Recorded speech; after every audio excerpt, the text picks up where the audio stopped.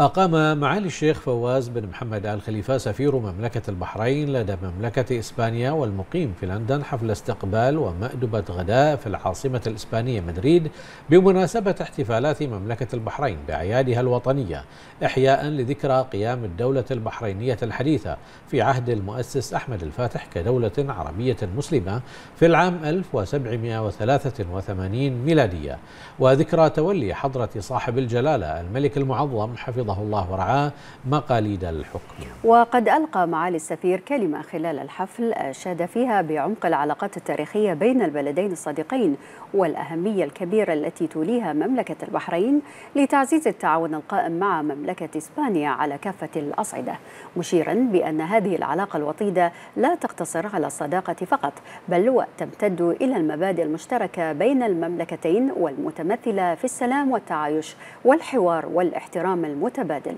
منوها بالزيارة التاريخية لبابا فرانسيس بابا الفاتيكان إلى مملكة البحرين مضيفا معاليه أن الشراكة الاقتصادية القائمة بين المملكتين الصديقتين تشهد ازدهارا ملحوظا والعمل جار لدعم التعاون وتسهيل كافة الإجراءات اللازمة بغرض مضاعفة التبادل التجاري.